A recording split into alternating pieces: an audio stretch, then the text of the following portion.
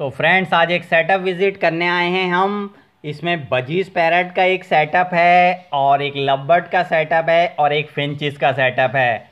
और इसमें budgies parrot जो हैं, इनके पास सात पेयर बजीज पैरट हैं। इसके अलावा फिंचिस के पाँच पेयर हैं और तीन पीस लबर्ट के हैं।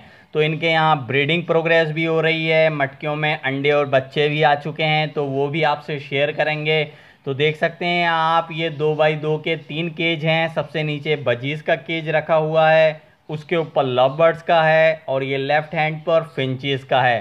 फिंचिस की दो मटकियाँ लगा रखी हैं इन्होंने और बजीज की पाँच मटकियाँ लगा रखी हैं दोस्तों। इसके अलावा लव बर्ड के अभी कोई मटकी नहीं लगाई है तो आप अंदर से बर्ड देख सकते हैं इनके। तो ये सुभान खान 10 साल के बच्चे हैं, जिनका ये बजीज पैरा लबर्ड और फिंचिस का सेटअप है।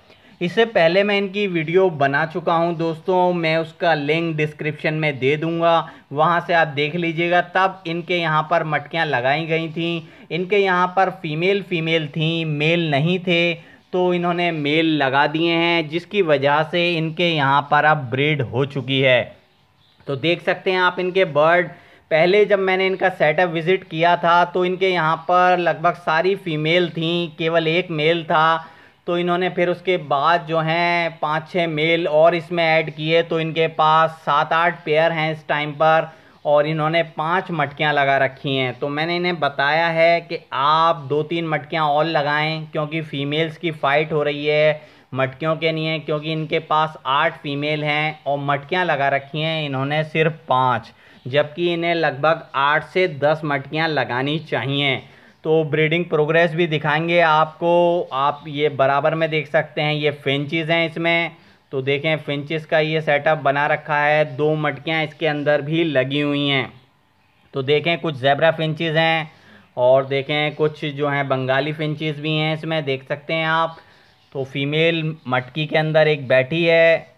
तो इनकी भी प्रोग्रेस चेक करेंगे। इसके अलावा एक लव बर्ड का भी इनका एक सेटअप है तो वो भी दिखाता हूँ मैं आपको। लव बर्ड हैं, उसमें देख सकते हैं आप। ये है लव बर्ड का सेटअप ये फिशर का पट्टा बैठा हुआ है। और इसके अलावा दो लुटीनो पीच फेस के इनके पास लव बर्ड हैं, जिसकी एक एडल्ट है और एक अभी पट्टा है। तो इनको मटकियाँ वगैरह इसलिए नहीं दी है, क्योंकि इनकी अभी पेयरिंग वगैरह नहीं है, इनकी एज कंप्लीट नहीं है ब्रीड की। तो केवल ये केज के अंदर मस्त दाना पीना खा रहे हैं।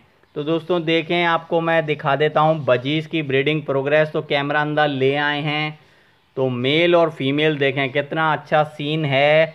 मेल और फीमेल दोनों ही मटकी के अंदर बैठे हुए हैं और मेल फीमेल को फ़ीड करा रहा है और तीन अंडे हैं इस मटकी के अंदर।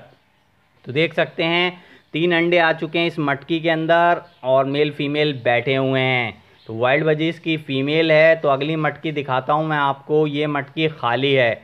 तो लेकर चलते हैं, तीसरी मटकी इनकी चेक करते हैं तो तीसरी मटकी में दोस्तों मेल फीमेल बैठे हुए हैं। वाइट कलर की पाइड में फ़ीमेल है और वाइल्ड बजीज का ग्रीन का मेल है। तो इस मटकी के अंदर भी दोस्तों एक अंडा आ चुका है तो ब्रीड इसमें भी स्टार्ट हो गई है और इसमें भी बहुत जल्दी और अंडे भी आने वाले हैं। तो अगली मटकी की तरफ़ लेकर चलते हैं, दिखाते हैं उसमें किस तरह की प्रोग्रेस हो रही है। तो आ चुके हैं इस मटकी में तो देखें फ़ीमेल बैठी हुई है, पाइड में फ़ीमेल है और दो बच्चे निकाल रखे हैं फ़ीमेल ने। तो फीमेल मटकी के अंदर है, बच्चे लगभग छः सात दिन के हो चुके हैं, देख सकते हैं आप छः सात दिन के इतने बड़े बच्चे होते हैं। तो अगली मटकी दिखाते हैं आपको, उसके अंदर क्या प्रोग्रेस है तो इसमें भी दो बच्चे हैं दोस्तों। और ये बच्चे भी लगभग सात आठ दिन के ही मालूम दे रहे हैं तो सात आठ दिन के हैं ये भी बच्चे। तो ब्रीड वगैरह बहुत अच्छी है इनके, यहाँ पर आप देखते हैं, फिंचिस के यहाँ पर क्या हाल है तो फिंचिस की मटकी चेक करते हैं, नेस्टिंग वगैरह तो हो रखी है, लेकिन अंडे नहीं हैं अभी फिंचिस के। तो खाली हैं अभी मटकियाँ तो देखा आपने ये सेटअप है जो कि सुभान खान दस साल के बच्चे हैं जिन्होंने अपने घर पर ये सेटअप बना रखा है, अपने बर्ड्स की बहुत अच्छे से केयर करते हैं। तो तीन सेटअप बना रखे हैं इन्होंने लव बर्ड फिंचीज़ और बजीज़ का। आगे इनका इरादा है कि एक बड़ी कॉलोनी बनाएँगे बजीज़ पैरट की। तो उसमें रखेंगे ये दस पंद्रह पेयर तो उसकी भी वीडियो आपसे शेयर करेंगे। तो वीडियो आपको कैसी लगी? वीडियो अच्छी लगती है तो कर लीजिएगा लाइक और जो भाई चैनल से नए जुड़े हैं तो हमारे चैनल को कर लीजिएगा सब्सक्राइब। इजाज़त दीजिए। मुलाकात होगी अगली वीडियो में। Okay, good bye.